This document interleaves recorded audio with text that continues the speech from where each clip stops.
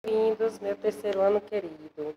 Bom, pessoal, vamos aqui para a nossa revisão de produção de texto, tá? É, na, no, no TD de vocês, de produção de texto, não está esse mesmo textinho que eu estou mostrando aqui para vocês.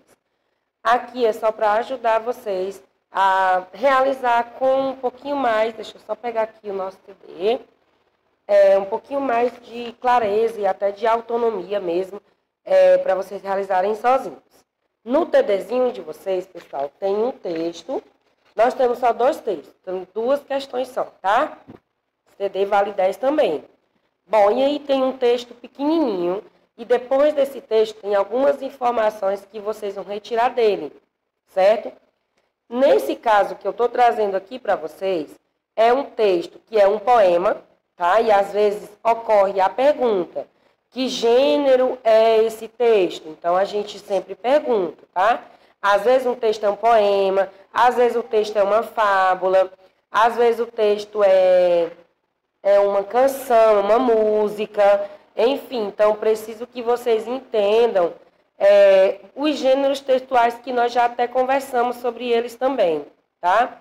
Outra informação importante que eu preciso lembrar vocês, né?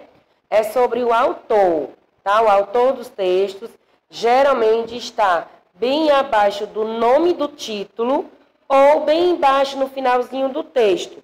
Também ocorre de estar no finalzinho do texto. Enfim, o, sempre tem o nome do autor, tá? O texto, eu sempre vou deixar um texto com o nome do autor, tá certo?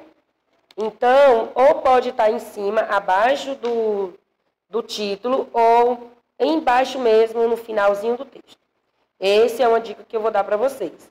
E aí, você lendo o texto, é que você vai poder compreender quem é o título, quem é o autor, é, fala sobre o quê, quem são os personagens, né? E aí você vai descobrir essas informações com a leitura. Professor, eu ainda não sei ler tanto assim. Aí você pede a mamãe para nesse momento ler. Porque aqui, pessoal, se fosse presencial, é claro que eu estou aqui para ajudar vocês. Então eu ia fazer a leitura para aquele aluno que ainda não lê tanto, para que você entendesse o que, que eu estou falando, o que, que aquele texto está falando. Assim como eu faço aqui na sala com vocês sempre, debatendo sobre os assuntos que a gente sempre conversa. Sempre eu falo e dou abertura para que vocês conversem e me respondam, né? Enfim, no segundo texto, e aí eu pedi para vocês é, revisar sobre parágrafo.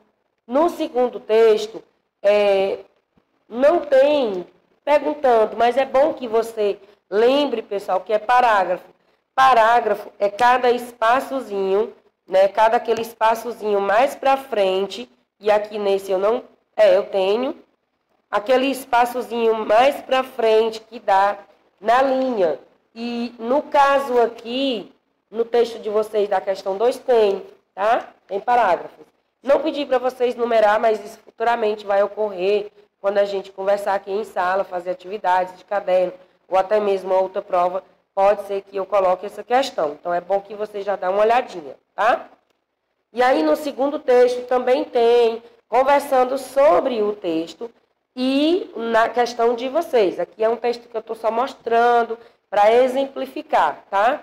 No segundo texto de vocês, que é sobre o cachorro de Alice, aí vocês vão completar, completar as frases. Você precisa ler com atenção para ver o que, que é, que palavra você vai completar, tá bom? Então, qual é a dica? Leitura e muita atenção, tá? Sempre converso com vocês aqui na sala, né, sobre isso. Pessoal, quando for, for responder alguma coisa, a gente tem que ter calma, prestar atenção no que a gente está lendo. A gente lê aqui, ó, nossa resposta está sempre aqui.